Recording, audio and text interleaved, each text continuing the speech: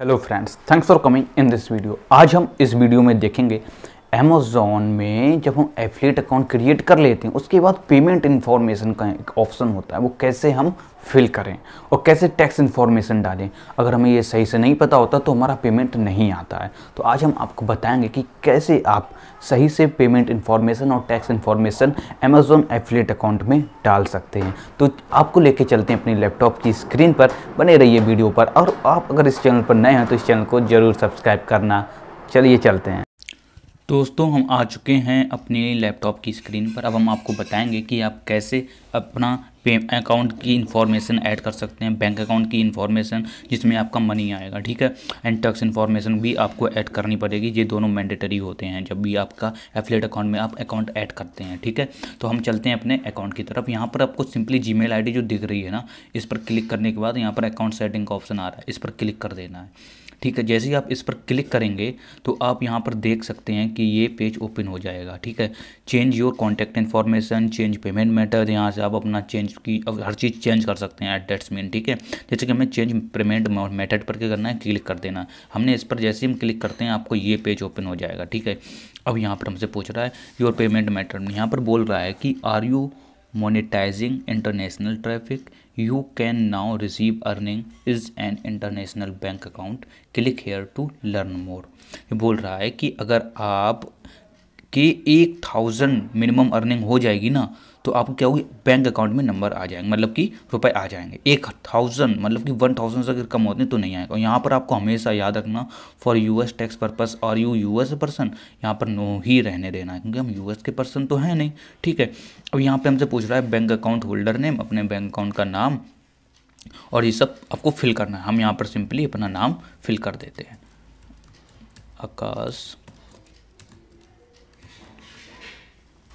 ठीक है, यहाँ पर मैंने bank account holder name fill कर दिया। ठीक है, अब यहाँ पर हमसे पूछ रहा है बैंक अकाउंट का नंबर डालो। ठीक है, हम यहाँ पर नंबर डाल देते हैं। यहाँ पर कंफर्म बैंक अकाउंट नंबर आ रहा है, यहाँ पे हमें कंफर्म भी कर देना है। ठीक है कंफर्म भी कर दिया। अब यहाँ पर बैंक का नाम पूछ रहा है। मैंने बैंक का नाम डाल दिया आईएफएससी कोड मांग रहा है, वो मैंने डाल दिया। ठीक है, अब ये सब कंफर्म हो गया। बस इतना सही काम करना है और आपको ये याद रखना है कि आपने जो बैंक अकाउंट का नंबर डाला है, वो सही है कि नहीं है। ठीक है, वो आपको ज़रूर याद रखना। ठीक है, ये सब कंफर्म हो चुका है। एक बार फिर से देख लेते हैं। एंड अगेन हमें क्या करना है? सबमिट पर क्लिक कर देना है।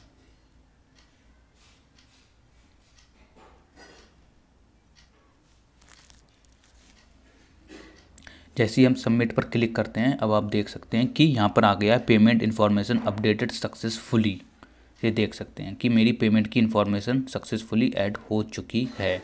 ठीक। दोस्तों, अब हम देखेंगे कि कैसे हम इंडिया करंट टैक्स स्टेटस मतलब कि जो इनकम्प्लीट दिखा रहा है टैक्स इन्फॉर्मेशन यहाँ पर मैसेज शो कर रहा है, इसे हम फिल कर सकते हैं। तो हमें सिंपली इस पर क्लिक कर देना है एक बार।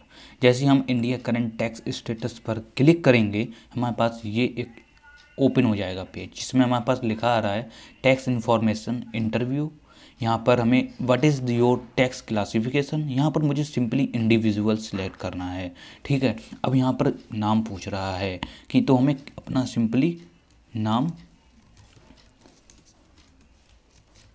यहाँ पर टाइप कर देना है, ठीक है? आकाश भारत आज यहाँ पर अब हम नीचे आते हैं। यहाँ पर हमसे प्रोवाइड योर पेन कार्ड का नंबर पूछ रहा है। तो यहाँ पर सिंपली हमें पेन कार्ड का नंबर ओपन डाल देना है फिल कर देना है। और जैसे नीचे आएँगे तो हमसे पूछ रहा है do you have a lower tax deduction certificate issued by the income tax authority द्वारा इनकम टैक्स होती है ना, उसके द्वारा आपके पास एक सर्टिफिकेट है? लेकिन नो यार, मेरे पास लोअर टैक्स डिडक्शन सर्टिफिकेट नहीं है.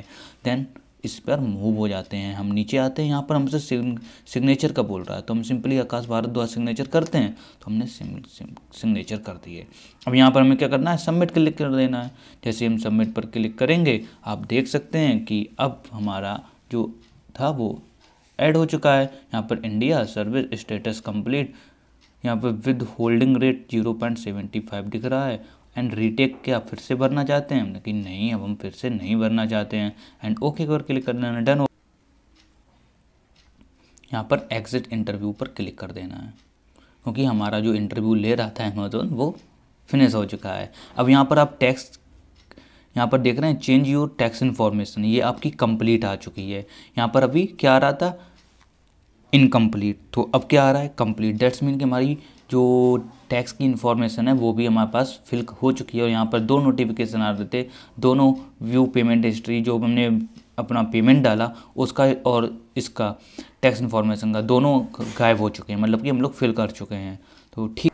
तो दोस्तों, कैसा लगा आपको ये वीडियो आई होप कि आप अब समझ गए होंगे कि कैसे अमेजोन एफिलेट अकाउंट में पेमेंट इन्फॉर्मेशन डालते हैं और कैसे हम लोग टैक्स इन्फॉर्मेशन डालते हैं। तो आई होप कि आप ये दोनों चीज़ें समझ गए होंगे। अगर इस चैनल पर हैं, नए हैं तो ज़रूर सब्सक्राइब करना। मिलते हैं नेक्स्ट वीडियो पर। ये अमेजोन की पूरी एफलेट की सीरीज़ मैंने बनाई है। वन बाई वन आप सब देख लीजिए। पॉलिसी ज़रूर देखना, अगर आपको नहीं पता है। मिलते हैं नेक्स्ट वीडियो पर नेक्स्ट टॉपिक के साथ।